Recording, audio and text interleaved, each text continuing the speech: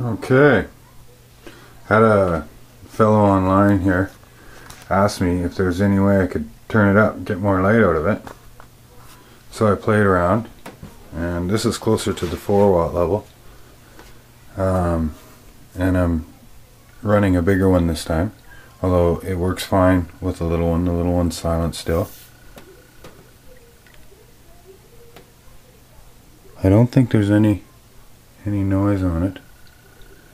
I do have a heatsink on this. Uh, oh, you can sort of see I got a heatsink on the MOSFET now, and I'm running three 103s in parallel over there um, to boost up the current intake, and two in series off of uh, pin 2 and that's at 310 milliamps.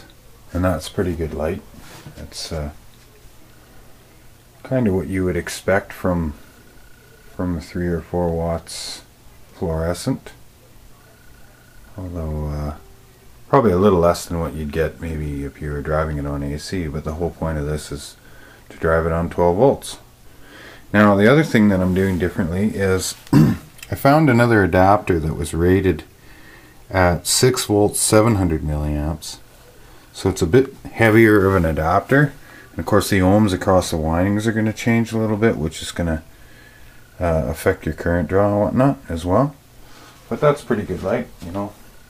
It's on a bad surface in the sense that it's completely completely uh, there's nowhere for the light to reflect in this room. It's all dark wood and it's up on a table. But uh, no that's pretty good light I mean, for what I consider to be pretty much a free circuit, you know, garbage recycled circuit.